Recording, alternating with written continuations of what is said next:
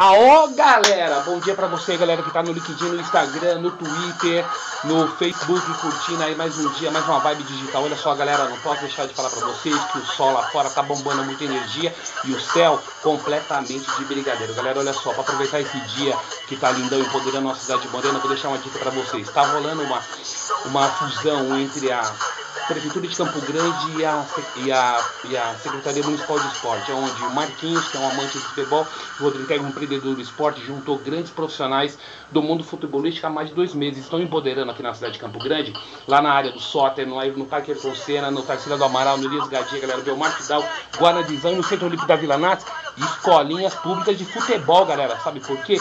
Porque ele quer ver e contagiar todas as nossas crianças cheias de energia e positividade na prática esportiva. Porque quem pensa o elevado da prática esportiva está pensando bem da nossa comunidade no futuro. Olha só. Então, o Marquinhos, junto com o Rodrigo Terra, selecionou grandes atletas que empoderaram a camisa do comercial, do operário, de outros clubes do, do, Mato Grosso do Sul, do Brasil muitos jogaram lá fora. Sabe para quê?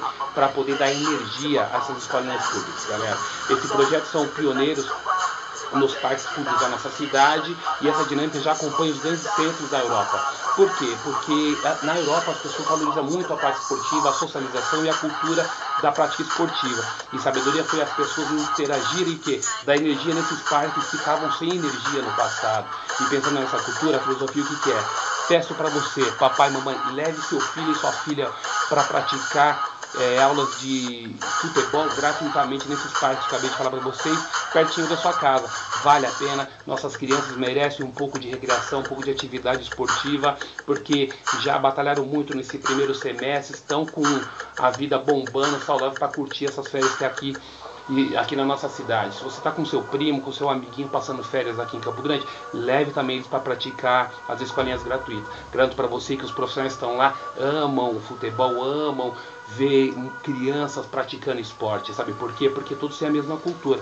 Quando a mãe bola tá rolando, nada pode fazer mal. O crime organizado não pode adotar. Essas crianças estão praticando a, é, a, filosofia saudável do, da potência do esporte, tá praticando a socialização cultural do mundo esportivo, tá bom, galera? Então essa é a minha dica. Leve seus filhos às escolinhas públicas de futebol da nossa cidade, sabe por quê?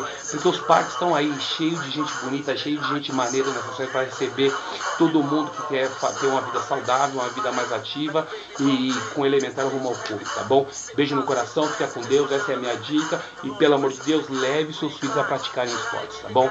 Beijo no coração e fiquem com Deus. Namastê, galera.